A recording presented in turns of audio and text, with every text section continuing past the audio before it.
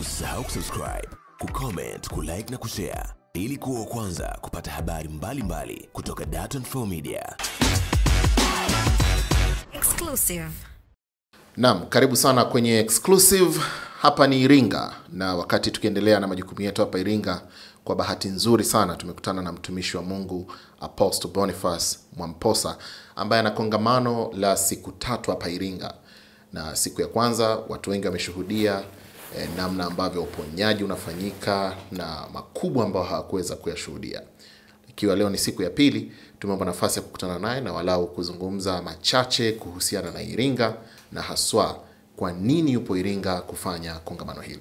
Kwanza tunakushukuru sana mtumishi. Amen, amen. Habari za hapa Iringa, maana umekuwa mwenyeji. Ah, Iringa ni baridi eh, lakini ni neema Mungu ipo. Ndio, ndio. Kama unavyoona baridi ya Iringa, lakini tunachoamini mkono wa Mungu upo kwa ajili ya kuponya na kufungua maisha ya watu. Sawa. Yeah. Kwa nini umeamua kuichagua Iringa? Mimi ni mtumishi wa Mungu Ndio. na ninatumwa kufungua maisha ya watu. Yesu alipokuja akasema, roho ya Mungu iko juu yangu, amenipaka mafuta kuwafungua waliofungwa, kuwahubiri habari njema na kufungua waliofungwa. Na tunaposema tunaenda kwenye mji, maana yake Mungu ameona uhitaji wa watu katika mji huo. Nilikuwa Morogoro, lakini baada ya Morogoro Mungu akatusukuma kuja Iringa. Sijakuja Iringa kama miaka mitatu sasa, nilikuja miaka mitatu iliyopita na watu wanaweza kujiuliza kwa nini alikuwa haji. Hilo pia linaweza kaa swali. Yes. Kwa nini ulikuwa huji? Sasa wengi pia walikuwa wanasema walikumisa. Yeah, Yeah, yeah. lakini nimekuja kwa sababu Mungu amenipa kibali Ndio. niwepo kwa kipindi hiki na, na, na Mungu anakuwa ameona uhitaji wa watu. mm. Mungu alipomtuma Musa Misri kuwaokoa na Israeli alisema hivi, nimeyaona mateso yao, nimesikia kilio chao. Kwa kiufupi, Mungu ameona mateso ya watu na amenituma. Kumbuka mimi ni mtumishi wa Mungu, natumwa. Ndiyo. Kwa hiyo nimekuja kwa ajili ya kazi eh, eh, na Iringa sio kwamba tu tumeichagua, ni Mungu ametaka tuwepo Sawa. katika kipindi hiki. Wewe ni mtumishi wa Mungu na una, mm. unafanya kazi sana kwenye ulimwengu wa kiroho. Amen. Amen. Ukitazama e, Iringa kiroho unaiona ni ya namna gani? Ah, hilo ni somo refu sana yeah. lakini naweza nikasema kila mji una utawala wake katika roho. Uh, kuna, kuna nguvu zinatawala Ndio. ukiangalia Iringa unakuta kuna kuna vitu vinatawala watu ku, ku, ku, ku, ku, kukula witi kufanya nini mm -hmm. ni mambo ambayo unakuta yanaendelea, lakini mkoa mwingine hutayapata kwa sababu uh, watu wengi tunajaribu kutatua mambo kimwili. Kutatua mambo kimwili ni kukata matawi, lakini huja solve tatizo. Uh, mtu kwenda polisi, mtu kupelekwa mahakamani, bado hatujakata matawi.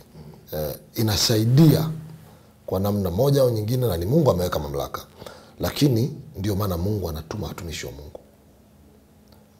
Tunapokuwa tunapokuja katika mji kama wa Iringa eh, tunakuja kudili na vitu vya rohoni. Kwa Iringa ina ina inatawaliwa na mambo mengi ambayo ni somo refu sana, lakini kwa ufupi niseme uh, uh, uh, kama kuna mambo ya giza yanaendelea au mambo mabaya yanaendelea, maana yake kuna utawala mbaya katika ulimwengu, kuna mambo ya giza katika ulimwengu wa roho yanayotawala katika mji. Utawala katika roho unazungumzia Kwa hiyo watu wengi sana wakielewa waki- hilo e, itakuwa ni rahisi sana, hasa viongozi wetu wa, wa, wa kiserikali, viongozi wa kipolisi uh, wanafanya kazi nzuri sana, lakini wanahitaji mkono wa wapako wa mafuta wa Mungu ili kuwasaidia. Umezungumza vizuri hapo mtumishi, mm. na ni kweli kwamba Iringa inatamkwa kuwa namba mbili kwenye yeah. maambukizi ya virusi vya ukimwi Yeah. lakini na matukio mengi ya kikatili Yeah. eh, leo tu mkuu wa mkoa alikuwa anasema zaidi ya vitendo elfu moja na thelathini na nane vya ukatili wa kingono umefanyika kwa wanawake, watoto na hata wanaume. Unadhani Iringa inaweza ikaondokaje hapo kwenye vitendo hivi?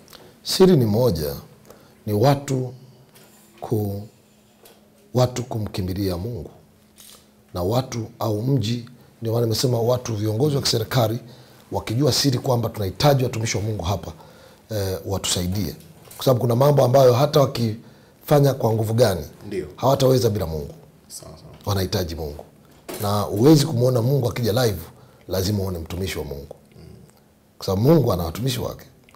E, kiserikali wale ni watumishi wanaotenda kazi katika eneo la mwili ambalo linadiri sana na kushughulika na mtu tayari tendo limeisha tokea lakini watumishi wa Mungu tuna diri na chemi chemi kunakotokea vyanzo vyake, kwa sababu ni spirit inafanya kazi. Kwa nini kuwe na ukatili wa kingono Iringa?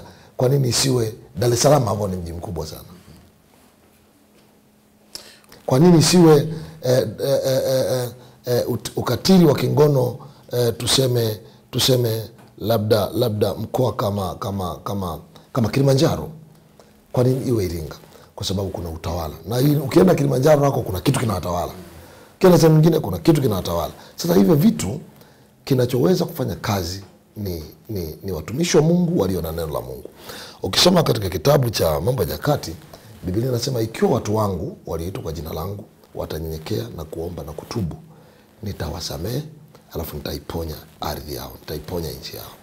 Na vile vile ukisoma tena katika kitabu cha wa- Wafalme wa wa Pili sura ya pili mstari ya kumi na tisa inasema kulikuwa na mji unaitwa Jericho. Jericho ulikuwa ni mji ambao kihistoria wanaweza waliuzunguka ukabomoka, yaani Mungu aliambia zungukeni mara saba ukaanguka. Kuta zilibomoka zenyewe tu kwa nguvu za Mungu. Sasa Jericho ile baadaye ikawa ina mazao mabaya sana, yaani kulikuwa na uharibifu. Inasema, inasema watu wa mjini wakamwambia Elisha, angalia, tunakusii. Elisha ni nabii, tunakusii mahali pa mjini pazuri, ukipaona ukiona Iringa ni nzuri, ukiona mari Jericho ni nzuri, ni mji mzuri, lakini akasema maji yake hayafai na ardhi yake inazaa mapooza. Kiswahili cha kisasa inasema eh, maji yake hayafai na inasababisha mimba kuharibika. Yaani eneo hili kwingine hakuna, lakini utawala uliopo hapa eh, eh, anasema inazaa mapooza, manake hata uwe na plani nzuri, kuzaa mapooza manake inazaa mauti. Hata uwe na plani nzuri ya kitu kizuri kinakufa. Kama kuna mambo mazuri yanaharibika, manake kila kitu kilikuwa kinaharibika ambacho ni kizuri. Ndio Elisha akachukua kwa, kwa maelekezo ya kinabii akachukua chumvi akachukua uh, chombo kipya akasema nileteni, akaenda akamwaga akaponya mahali pale, mpaka leo pamepona. Sasa nini maana yake? Tunahitaji wapakwa mafuta ambao kweli Mungu amewatuma kwa ajili ya kusaidia mji. Kama tunavyosema, tunakuja hapa kwa ajili ya kazi gani? Ni kuponya mji yeah. Kwa hiyo mtumishi, unaamini kwamba baada ya kongamano hili la siku tatu mm. tutaona mabadiliko makubwa? mabadiliko makubwa yataonekana kwa sababu tunaamini nguvu za Mungu. Ndio maana nimekuja kwa ajili ya uponyaji wa ardhi, komboa ardhi. Ardhi lazima ipone, kwa sababu hii ardhi hii ndio imeshikilia maisha ya wanadamu yoyote. Sawa sawa. Hii ardhi tunapozungumzia ardhi hii, udongo ndio mtu. Mtu huwezi kumtenganisha na ardhi. Anakanyaga ardhi, anatembea ardhini, anakula ardhini, nguo zake zinatoka ardhini, chakula chake ardhini. Hata ukila nyama leo ni udongo, kila kitu ni udongo, na Mungu ameweka utajiri wote kwenye udongo. Na Adamu alipokosea, Mungu alimwambia ardhi imelaaniwa kwa ajili yako, itakuzalia miba na michongoma. Maanake hata kama ukifanya kitu kizuri itakuumiza tu. Sawa sawa. Kwa hiyo ardhi ikipona, tunategemea mambo makubwa kufanyika, na tutaungana na watu wa mji huu, tutashikana mkono kuangusha kazi za giza katika mji huu, roho za ulawiti katika mji huu, roho za, uh, uh, za ukatili wa kingono katika mji huu. Lazima zianguke, na hiyo ndio inakuja, unakuta matokeo ndio HIV hizo. Ndio vitu vyote vina kama watoto wanafanyia ukatili namna hiyo wa kingono au watu wanafanyia ukatili wa namna hiyo, maana yake eh, eh, eh, katika hali ya kawaida kwa habari ya ngono, kwa habari ya, ya, ya zinaa ina, ina, imeenda, imeenda mbali zaidi. Unaelewa? Unajua, ukiweka ukiweka maji yakijaa kwenye chombo bado unaendelea kuweka, ndio yanamwagika. Sasa ile tunaita, unaona ukatili. ma- Mkuu wa mkoa anasema kesi zaidi ya ngapi? na elfu moja. Maana yake ni maji yamejaa, sasa yamemwagika. Kwa hiyo ukatili ule ni, ni, ni, ni, ni, ni watu wamefika kiwango cha juu. Sasa tunahitaji nini hapo? Ni mkono wa Mungu. Nitakupa mfano mmoja. Nchi moja inaitwa Fiji. Fiji ni nchi iko nafikiri kama ndani kama kisiwa fulani. Fiji ilikuwa na ukatili, waliwahi kuua mpaka watumishi wa Mungu wa misionari. baada ya hapo ile Fiji ikawa ina laana, kulikuwa mazao yalipotea. Uh, samaki wazuri fulani walikuwa kwenye bahari kwenye mahali pao wakapotea, alafu magereza yakajaa watu hivi Ge- magereza yakajaa watu, hamna nafasi magerezani. Walipowaza watumishi wa Mungu na makanisa mbalimbali wote madhehebu yote wakakusanyika, kwa nini hivi? Wakakumbuka waliwahi kuwa hata watumishi wa Mungu, kulikuwa na sasa walichokifanya wakaamua kuungana kwa pamoja kwa neno hilo ninakwambia, ikiwa watu wangu wataomba, dini zote wakaanza kumwomba Mungu rehema. Walipomaliza kuomba tu yale maombi, samaki waliopotea baharini wakarudi, kurudi kabisa. E, karoti ambazo zikaanza kutoka pale pale ni mkono mmoja karoti, bila bila kutumia mborea. Matunda yakaanza kurudi ambayo yalikuwepo zamani. Baada ya hapo magereza zote zikawa, yani magereza zilikosa wateja. Sasa hivi vitu huwa vinaenda kiroho. Tunajaribu kutumia nguvu sana kuwasaidia watu, na tunashukuru Mungu kwa ajili ya polisi, wanafanya kazi nzuri sana, lakini kuna mahali hawezi kufika. Sawa sana daktari eh, kuna mahali atakutibu, lakini hawezi kufika mahali fulani. Madaktari wanatibu, Yesu Mungu anaponya. Sasa madaktari wanapotibu, kuna mahali hawezi kufika, ndio utakuta kama yule mwingine alitapika panya pale nilipokuwa nilipokuwa Morogoro. Bin kijana mwingine pia alikuwa na kansa, wamempea mpaka India pale Muhimbili kwamba ana kansa. Alipokuwa Muhimbili pale amewekewa mipira, baada ya kumpaka mafuta akapiga chafya, ikatoka mjusi na kansa imekwisha, na mtoto akaanza kula, alikuwa atembei hali sasa hii maana yake ni daktari, kuna mahali anaweza akakwama, lakini Mungu anaweza kuponya.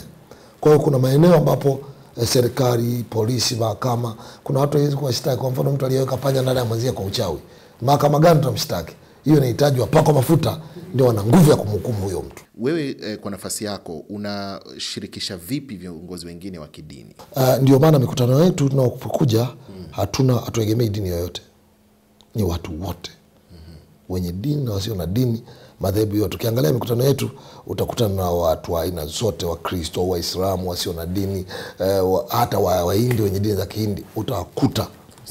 Kwa nini? Kwa sababu tunapotangaza ni watu wote, na ninapomaliza huduma ninaita watumishi wa Mungu pale juu, ninawashika mkono napomaliza mkutano, na tuna tuna tuna tunasimama na watu wote wanajua watumishi wa Mungu wako pale mbele, bila kujali dhehebu lolote. Ukitazama shetani huwa anataka nini mpaka haya yote yanatokea? Shetani uh, kibibilia ni mwasi kibibilia, shetani ni mwasi kwa sababu mbinguni alishetani kwa alikuwa malaika. Na baadaye alipokuwa malaika akataka kushika cheo mpaka kumzidi Mungu. Kwa hiyo uasi unaona duniani haujaanzia hapa, ulianzia mbinguni, uasi mwingi, na mwanzilishi wa uasi ni shetani. Kwa hiyo alipokuwa ametaka kumwasi Mungu, malaika watiifu kwa Mungu wakapigana naye. Biblia inasema wakapigana naye, kusoma kitabu cha Ufunuo sura ya kumi na mbili sura ya kumi na mstari kuanzia wa saba anasema malaika wakapigana naye, wakapiga naye. Alikuwa ameshaishi na alikuwa na kundi la malaika, amewashawishi kumgeuka Mungu. Wakapigana naye, wakampiga na wakapaondoa mahali pake hapa kuonekana tena, wakamtupa duniani. Sawa. Sasa shetani alipokuja hapa ni mwasi, na Biblia inasema kwamba alipoona Adamu na Eva wanapendwa na Mungu akaona sawa, mimi wamechukua nafasi ambayo wameumbwa kama Mungu na wanaongea na Mungu, wivu kwamba hawa watu wasio na ushirika na Mungu. Kwa hiyo shetani ni mwenye wivu. kwa hiyo shetani mwenye wivu, Hmm. na ndio maana hata wachawi hawezi kufanya kazi bila wivu. Huwezi kuona mchawi anaenda kumloga jirani yake, kwenda kwa mganga kumwambia mganga, ninaomba unirogee jirani yangu, naona ana baskeli, nataka awe na gari. Hakuna uchawi wa namna hiyo.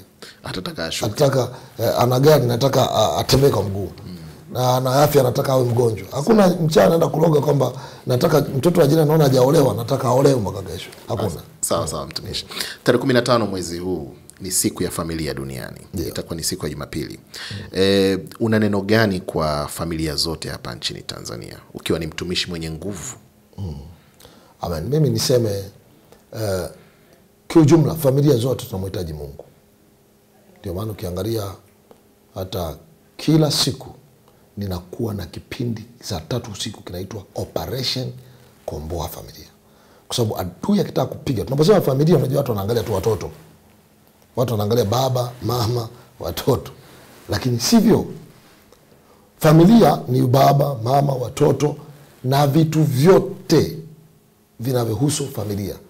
Kama kuna magari ni familia yako.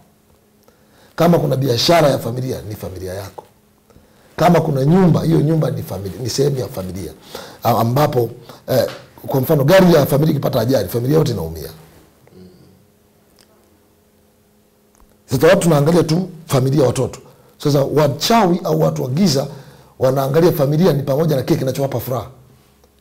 Wanakipiga. Wakikupiga kwenye kazi ukaachia kazi familia yote inalia. Kwa familia yote inamhitaji mungu. Na, na, na watu wa giza wanajua kabisa na kuna familia zingine zimepigwa na watu wa giza. Ni kama hivi tunavyoongea vitu vya- vinavyoendesha vitu vya giza. Familia nyingine unakuta ni giza linatawala familia. Familia hata ijitahidi vipi haiwezi kwenda mbali. Tunaangalia kimwili okay lea watoto vizuri lakini kuna mahali wazazi hata ajitahidi vipi hawezi kumsaidia mtoto. Kwa sababu kuna control nyingine na mkontrol. mi nimeona kwenye kongamano wetu makongamano yetu watoto uh, anakataa shule anafanya nini. baada ya upako mtoto anatapika uh, tandu. Halafu anaanza kwenda shule. Tumeona makongamano mengi watoto wanatapika vitu vya ajabu wamelishwa. Mzazi ajui aliulishwa nini. Tumeona watoto ambao wamechukuliwa kiuchawi wanafundishwa uchawi wazazi ajui. sasa mzazi anafanya nini hapo? Hana mkono unaofika huko. Sasa hapo ndipo tunahitaji wapango mafuta wa mungu. Na jambo lingine ningewambia kwenye familia wazazi wazazi. Wazazi lazima waelewe ya kwamba tunahitaji baraka kwa watoto na wazazi lazima wabariki watoto. Sasa kitu kingine ambacho ningependa kuongea nimepata nafasi hii. Napenda uh, uh, watu waelewe kwamba familia kama familia inahitaji baraka haihitaji laana. Familia kama familia inahitaji baraka haihitaji laana. Wazazi wanahitaji baraka kwa wazazi wao kwa watumishi wa mungu na kwa mungu. Yaani kwa mungu ndio namba one. Na mungu anapoachilia baraka zina chaneo zake. Baraka ya kwanza inapiti- zinapitia kwa watumishi wa mungu. Baraka za pili zinapitia kwa wazazi. Na wazazi hawa pia wanatakiwa kuachilia baraka kwa watoto. Mara nyingi tunawaambia watoto someni. Ukisiposoma utakuwa kibarua. Usiposoma utakuwa una, utakuwa utakuwa maskini lakini wakati mwingine tunakuwa long. Ni sawa lakini ni long. Nitasemaje? Nitasema kwa namna hii. Mtoto unapomsitiza tu kusoma tumesahau upande mkubwa zaidi wa kusitiza familia au watoto kujenga msingi wa kupata baraka. Lazima tuwafundishe watoto kwamba a, a, a, lazima ukimbie laana kuliko kitu kingine chote duniani. Ndio kinachokufanya kuwa mtu mkuu duniani na lazima ukimbilie baraka kuliko kitu chochote duniani. Mtoto akijua nguvu ya baraka cha kwanza atajua kumcha mungu.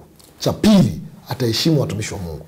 Cha tatu kizuri ata- atamheshimu baba yake na mama yake. Maandiko anasema mheshimu baba yako na mama yako ili siku zako ziwe nyingi zenye baraka. Unajua unatoka na siku nyingi zenye laana laana ukiwa nayo inakausha maisha. Inapigana na mafanikio yako. Baraka ukiwa nayo inakusukuma. Inakuongoza inakuconnect na watu sahihi. Ukiwa na laana inakuconnect na watu watakao kuharibia maisha. Kwa watoto wasipokuwa na baraka hata mtoto akisoma vipi maisha yake yatapigwa tu. Lakini mtoto akiwa na, na, akiwa na, na, akiwa na baraka akiwa na baraka hata kama yuko wapi baraka zitamlinda hata kama mzazi haupo hata mtu akitaka kumloga baraka inapigana na uchawi. Lakini mtoto akiwa na laana inasapoti uchawi kumpiga. Inasapoti vitu vyote vinavyolenga kupiga maisha yake vinampiga kirahisi. Anakuwa kama yuko uchi. Sasa lazima familia katika siku ya familia tuelewe turudi kwenye misingi ya baraka. Watoto warudi kwenye misingi ya baraka wazazi warudi kwenye misingi ya baraka elimu ni, ni sehemu inayofuata. Zamani wakina ibrahim wao tunaosoma kina isaka walichokuwa wamekishika sana ni baraka. Hawakutafuta sana elimu kama tunavyotafuta. Elimu ilikuwa ni sehemu lakini cha kwanza ni baraka. Baraka ina miko yake. Mtoto atakuwa na miko ile ya enzi za wazazi wetu huko nyuma. Ukiangalia zamani sana wazazi wetu walikuwa sana wanaambia hiki ni mwiko hiki ni mwiko. Maanake hiki na laana usifanye hivi. Hii ni mwiko. Sijui kiswahili wanaiwekaje lakini eh, eh, kwetu huko wanasema ni mwiko ku, ku, ku, kushindana na mgeni. Usikatae kumpokea mgeni. Mwiko. Maana yake walikuwa wanazungumza eh, kibibilia lakini hawajui wakati mwingine. Mwiko kuingia chumbani kwa baba yako. Ilikuwa inazuia laana.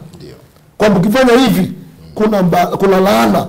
Maanake kuna nguvu itakuwa inakupiga bila kujua.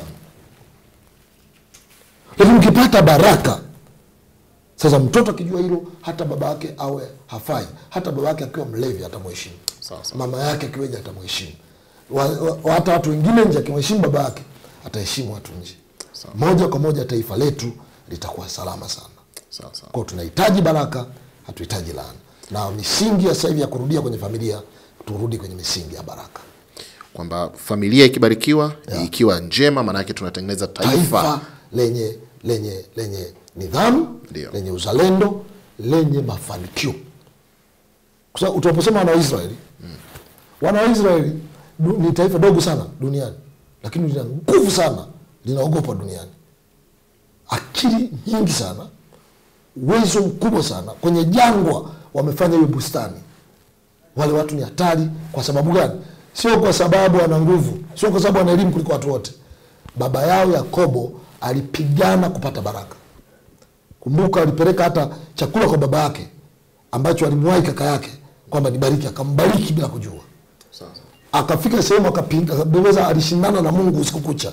Akasema sikuachii mpaka umenibariki. Mungu akambariki na baraka ndio zinazoswaga. utakuwa mtu mkubwa utatawala wengine utafanya sio elimu inasema hivyo. Elimu ni sehemu ya ngazi ya kupitia. Lakini daraja msingi au nguzo ya, bara, nguzo ya maisha ya kuwa mtu mkuu duniani ni baraka. Mtumishi mi nakushukuru nakushukuru sana. Na naamini hili ni somo Pana sana, sana, pana sana. E, ambalo tuta, nami tutaendelea kulivuna kutoka kwako kwa sababu tunaelekea siku Yeah. ya familia. Yes. eh, mtumishi una, una, unafanya kazi kubwa na una nguvu kubwa sana. Kila unapoenda watu wanajazana wanakuja kupata huduma na wanatoa ushuhuda. Lakini sehemu ya watu wakija kwako kutoa ushuhuda huwa wanasema kwamba tulikuwa hatuamini. Tumeambiwa hiki na hiki. Hivi kwa watu wasiokuamini Yeah. wewe neno lako huwa ni nini? Uh, wa neno langu ye Biblia alikuja, alikuja kwao. Yesu kristo mwenyewe alikuja kwao. Wana wa israeli wa wapi? Hasa alikuja kwao. Lakini wao walio wake wakamkataa. Yeah. wao walimkataa. Lakini wote tuliompokea wote waliompokea aliwapa uwezo wa kufanyika wana wa mungu. Sasa kuna watu wanakataa kwa sababu aina kama sababu mbili tatu. Mwingine anabisha kwa sababu tu eh, eh, eh, hataki kusikia mamposa ana- anatumika. Hiyo hiyo hiyo ah, Matakwa binafsi. labda ni matakwa binafsi. Mwingine ni ignorance. Hajui. Yani hajui eh, anas- amesikia tu. Sasa huyu mungu ndio anayejua nia za watu. Kwa huyu anabisha kwa sababu hajui. Kwa hiyo kuna siku atamtumia ata, ata, ata tu mtu atamjua- atajua. Ndio wana wanakujaga za mtumishi naomba nisamehe kabla sijashuhudia kwa sababu nilikuwa sikuamini na nilikuwa nasema wewe ni freemason lakini nilikuwa sijasikia nilikuwa nasikia tu kwa watu. Ndio nawaambia watu usisikilize tu kwa watu wewe fuata mwenyewe usikilize. Na wewe haikusumbui mtumishi? Ah, hii ni sumbui kwa sababu biblia inasema yesu mwenyewe aliitwa mkuu wa mapepo. Sawa sawa. Yesu mwenyewe bwana wetu. Akasema ikiwa wananifanyia hivi mimi mti mbichi je itakuwaje mti mkavu? Na akasema mkitukano kwa ajili ya jina langu furahini kwa sababu thawabu yenu ni kubwa mbinguni. Tunachokifanya ni kuwaombea tu watu hata ukisikia wanakutukana unawaombea mungu awasaidie siku moja wajue anawabariki Biblia nasema wabarikini wanaoudhi waona walaani wa, wa, waombeni wanaoudhi. Kwa hiyo maandiko yako wazi. Sawa yeah. na, na kwa- huduma yako ni kubwa sana na wewe una nguvu sana. Pengine e, mtumishi mwamposa kuna mtu anamwandaa nyuma yake? Mm kwa maana ya, Ya akiamua kusema sasa anapumzika na stafu Yeah. anarithi mikoba yake huduma hii kila siku tunazaa watu. Na sio lazima tunaposema kurithi mikoba unajua inatumika sana duniani. Lakini tunapokuwa duniani yesu kristo alipoondoka ali- aliacha wanafunzi kumi na mbili. Lakini ukweli akuacha tu wale. Kuna wengine ambao walikuwa hata hawajafuatana na yesu lakini wamesikia yesu akifundisha wakashika mafundisho yake. Hata siku moja wanafunzi waliwakuta jamaa wakitoa pepo. Bwana tumewakuta watu wanatoa pepo kwa jina lako. Tumewazuia kwa sababu hawafuatani na sisi.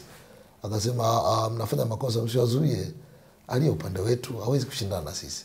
Hawezi mtu kutumia jina langu kuponya wagonjwa afikisha kanena vibaya. Kwa mwacheni aendelee. Sasa kuna watu eh, eh, tunapokuwa na, kila napotembea mi nimetoka kilimanjaro nime- kote. Kote ambako nimezunguka nimezaa watoto wa kiroho. Wengine sijatembea siko nao hapa. Lakini wanaendelea na huduma. Kilimanjaro tuna vijana wanaendelea na huduma. Kwa kila nakokwenda tunaacha mbegu. Ile mbegu inaendelea kuzaa watu. Kwa hiyo warithi ni wengi sana na, na, na, na, na hao wote ni mungu alitupa kuinua watu vizazi vingi sawa sawa Yeah. nadhani unaongea kitu sahihi sana mtumishi kwa sababu hivi karibuni pia tulikuwa tuna mahojiano na mm. hata mtumishi mc pilipili anasema mm. kabla ya kuanza huduma kwanza alikuja kuchoma kuchuma busara na, na kuchukua upako kwako Yeah, yeah, Kwa hiyo ndo vijana hawa ambao yeah, yeah. wanaonyesha kila mahali yani tumekuwa yeah. na huduma eh, kama kilimanjaro na huduma pale. Sasa. eh, eh, mbeya huko tuna vijana. Ndio. Tumekuwa maeneo yote ambayo tumepita tumezaa na wengine hatuwajui. Sawa. Lakini wamezaliwa na mafuta ambayo mungu ametupa na wanaendelea na neema mungu sawa sawa mtumishi mi nakushukuru sana na nakutakia kila la heri hapa iringa amen mungu akubariki sana asante sana mtumishi. Amen. God bless you. Amen. Amen. ndugu zangu na hii ndio sehemu tu ya mahojiano yangu na mtumishi wa mungu apostle boniface mwamposa tukiwa hapa iringa ana huduma ya siku tatu na leo ikiwa ni siku ya pili anatoa huduma hiyo ya kukomboa ardhi kuponya watu na mengine mengi katika viwanja vya mlandege pale. Basi kutoka hapa iringa sisi hatuna la mno tumechoma busara na tumechuma baraka kutoka hapa. Asante mimi ni lambert na hii ni da 24 Usisahau kusubscribe, kucomment, kulike na kushare ili kuwa wa kwanza kupata habari mbalimbali mbali kutoka Dar24 Media. Exclusive.